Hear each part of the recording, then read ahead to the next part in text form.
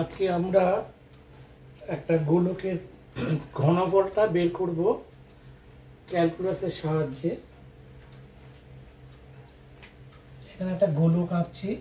গোলকটা actually তিন dimension three dimension দৈর্ঘ্য, প্রস্থ, উচ্চতা। মানে সার্কেলটা হচ্ছিল যেরকম একটা রুটি যদি বলি, কিংবা একটা গোল মাঠ বলি, সে উপরে সারফেস গোল যেটা, সেটা হচ্ছে সার্কেল আর গোলকের ক্ষেত্রে হচ্ছে বল এরকম বল তার মানে বল এরকম গোল মতো সলিড ওই সলিড পুরো যে বল সে তার ঘনফলটা বের করবে। আর সারফেসের ক্ষেত্রে এরিয়াটা বেরোয় ওটা টু ডাইমেনশন আর ঘনফলটা হচ্ছে থ্রি ডাইমেনশন আমরা এখন গোলকের ঘনফলটা বের করব। আমি এখানে গোলক একটা আঁকছি।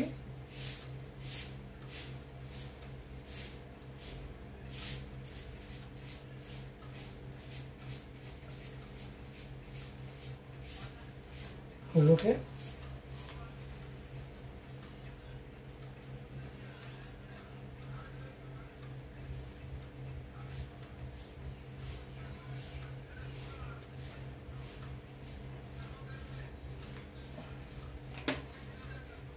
গোলকটাকে সাধারণত এইভাবেই মেনশন করা হয়। এইভাবেই, এটা গোলক সলিড এটাকে এড়িয়ে ঘনফলটা বের করব। এইবারে এখান থেকে এটা এটা এটার ব্যাসার্ধটা ধরি আর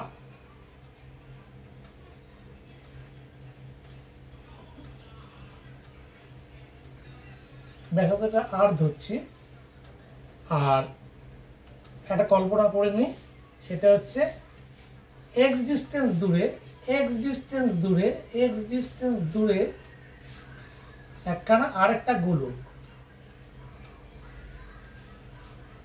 এক্স ডিস্টেন্স দূরে আরেকটা গোলক। সেটা কেন্দ্র থেকে এক্স ডিস্টেন্স দূরে। তার মানেটা কি হলো? এই যে গোলকটা কেন্দ্র থেকে ছোট গোলক, একদম বিন্দু থেকে, কেন্দ্রের যে পয়েন্ট পয়েন্ট থেকে একটা ছোট গোলক ওখান থেকে শুরু হচ্ছে। ওই গোলকটা আস্তে আস্তে আস্তে আস্তে আস্তে আস্তে আস্তে আস্তে আস্তে বেড়ে গিয়ে টোটাল হয়ে যাচ্ছে।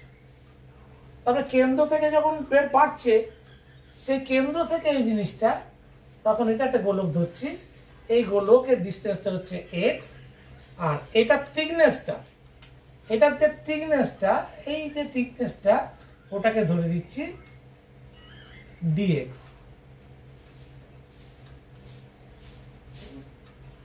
থিকনেসটাকে ধরে নিচ্ছি ডিএক্স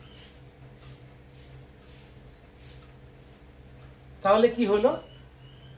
থিকনেসটা যখন ডিএক্স তাহলে এই গোলক, এই যে উপরের যে গোলকের সারফেস এরিয়া আমরা জানি four pi r square four pi radius square সারফেসটা হচ্ছে কত? রেডিয়া এই সারফেসটা হচ্ছে কত? ফোর পাই রেডিয়াস স্কোয়ার তাহলে এই যে ছোট যে গোলকটা এক্স ডিস্টেন্স দূরে যেটা কল্পনা করা হয়েছে এক্স ডিস্টেন্স দূরে যে গোলকটা কল্পনা করা হয়েছে, তার ভলিউমটা কত হবে? ওই সরুর মতো ভলিউমটা সেটার ভলিউমটা হয়ে যাবে four pi x square into dx dx হচ্ছে থিকনেস এটা delta x tends to zero হলে তাহলে ওটা হচ্ছে থিকনেস তার মানে এখানে জিনিসটা হলো কি?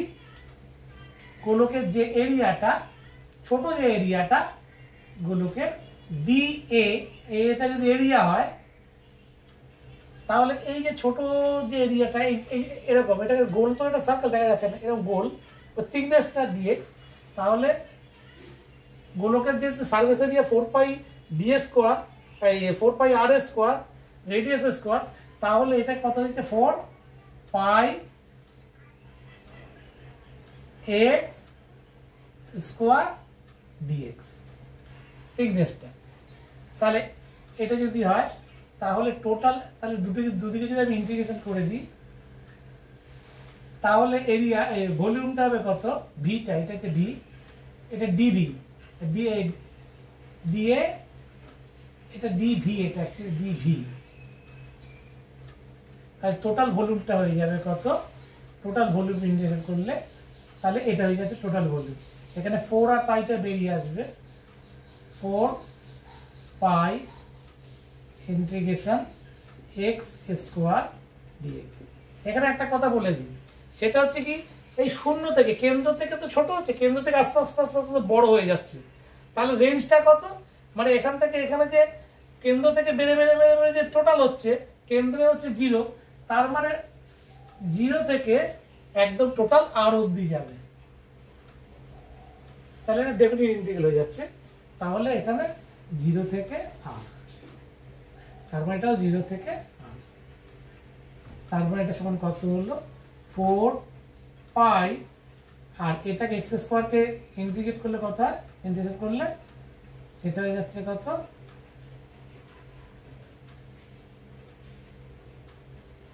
এক্স কিউব বাই থ্রি এমনি এমনি আমরা জানি, সেটা হচ্ছে কি, যে integration x to the power n d x সমান হচ্ছে কত? X x to the power n plus one by x to the power n plus one এই জিনিসটা আসছে। এটা স্ট্যান্ডার্ড ইন্টিগ্রেশন সেটা x x x to the power n dx integrate করলে এটা হচ্ছে। তাহলে এখানে হচ্ছে দুই। তাহলে দুই আর একে হচ্ছে তিন। আর এটা নিচে এটা হয়ে যাচ্ছে দুই প্লাস এক সমান তিন। এইটা।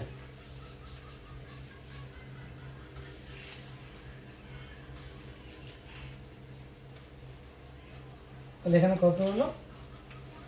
এটা রেঞ্জটা হয়ে যাবে জিরো থেকে আর তার মানে এটা সমান কত হলো? ফোর পাই এক্স পাওয়ার তিন আর এখানে হচ্ছে জিরো টু দি পাওয়ার তিন। তাহলে সমান কত হলো? ফোর পাই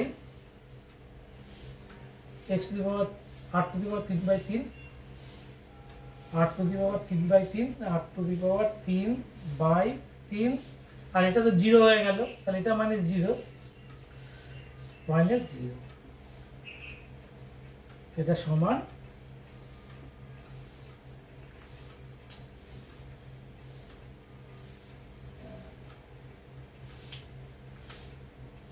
তাহলে হয়ে যাচ্ছে four pi r cube by three. তার মানে এটা four by three pi r এটা হচ্ছে ভলিউম। তাহলে এই যে ভলিউমটা আসছে, এই ভলিউমটা হয়ে যাচ্ছে এইটা। তার মানে গোলকের ঘনফল হয়ে যাচ্ছে four by three pi r cube এই ঘনফলটা বেরোচ্ছে আর ডেফিনিট ইন্টিগ্রেশন যদি না করা হয়, সেক্ষেত্রে এখানে একটা কনস্ট্যান্ট আসে। এটা অ্যাকচুয়ালি সি আসে এখানে। এখানে একটা সি আসার কথা এখানে একটা সি আসার কথা এটা লেখা হয়নি আগে। এটা এক্স অ্যাক্সিস এটা ওয়াই অ্যাক্সিস আর এটা অরিজিন জিরো এদিকে এক্স ড্যাশ এদিকে ওয়াই ড্যাশ এক্সেসের মধ্যে এটা রয়েছে। এটা কার্টেসিয়ান কোঅর্ডিনেটের উপরে করা হলো। পোলার পোলার কোঅর্ডিনেটের উপর করা হলো না। তাহলে এটা ভলিউমটা বেরোলো এটা ঠিক আছে?